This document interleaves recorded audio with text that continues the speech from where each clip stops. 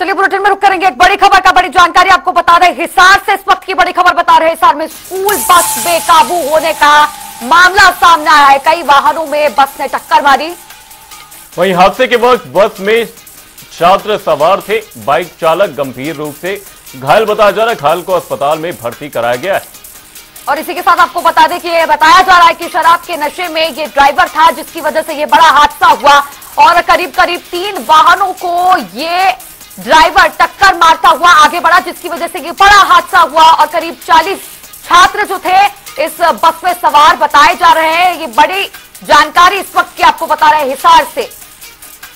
ये बड़ी खबर, बड़ी जानकारी। बाइक चालक गंभीर रूप से घायल बताया जा रहा है। बेकाबू स्कूल बस ने वाहनों में टक्कर मार दी। वहीं बाइक सवार घायल बताया जा रहा है, जिसे फ़िलहाल अस्पताल में भर्ती कराया गया है।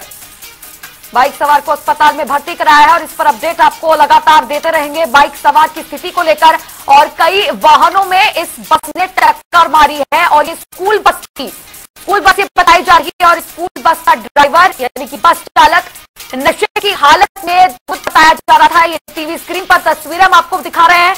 लोगों ने इस बस ड्राइवर को बाहर खींचकर पिटाई करनी शुरू कर दी और लोगों द्वारा बताया गया है कि ये बस ड्राइवर नशे की हालत में धुत था जिसकी वजह से ये बड़ा एक्सीडेंट हुआ बड़ा सड़क हादसा हुआ। हादसे के वक्त बस में छात्र सवार थे। बाइक चालक को गंभीर रूप से घायल बताया जा रहा वहीं बेकाबू बस ने कई वाहनों में टक्कर मार दी। तस्वीरें भी आप देख सकते हैं कि किस तरीके से बाइक यहाँ पर सड़क पर पड़ी हुई नज़र आई। वहीं जिस कार को टक्कर मारी है वो भी बुरी तरह से क्षतिग्रस्त हो गई। बिल्कुल ये तस्वीरों में देख सकते हैं टीवी स्क्रीन में जिन वाहनों को इस बस ने टक्कर मारी है।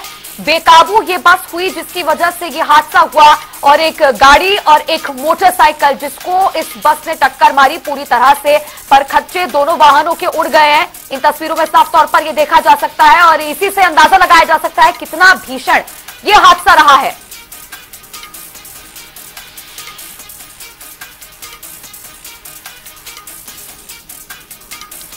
हिसार से ये बड़ी जानकारी इस वक्त की बता रहे हैं, जहाँ पर स्कूल बस बेकाबू हुई, अनियंत्रित हुई, और इसी की वजह से हादसा।